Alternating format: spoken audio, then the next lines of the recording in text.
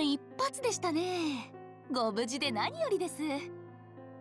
ドロシーの研究室に逃げ込んだ3人はその場にへなへなと崩れ落ちた。おやさすがの赤ずきんさんもお疲れですか？遊びすぎは良くないです。それはいけませんね。お手伝いをしてもらおうと思ってたのに。手伝いだと？イブカルスノーにドロシーは明るく答える。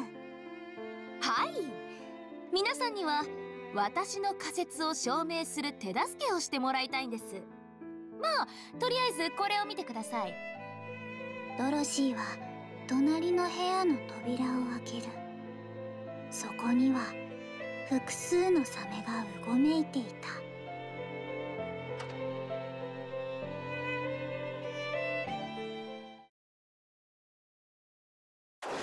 ドロシーこれは一体。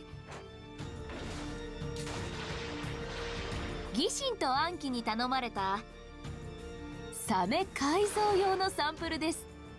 その子たちにはサメ映画のイメージや文脈を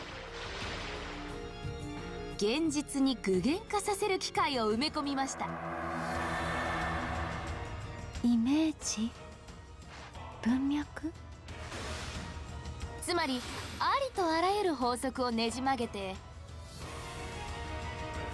サメ映画のお約束にしちゃう機械です。以前から思っていたがドロシーあなたは能力の使いどころを間違っているのでは。敗者には敬意と弔いを改造したサメに人形たちが飲み込まれたことで彼らが持つイメージが体内で暴走。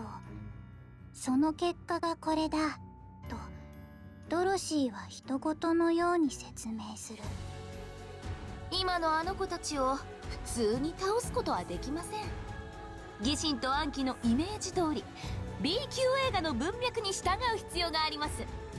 えっとそれはつまり戸惑う人魚姫にドロシーは微笑んだ。サメ映画のお約束武器を使うんです。こんな感じのもの。ドロシーが用意したのは銃や森やスピアガンチェーンソーに酸素ボンベ懐中電灯などなど。スノーは思わず天を仰いだ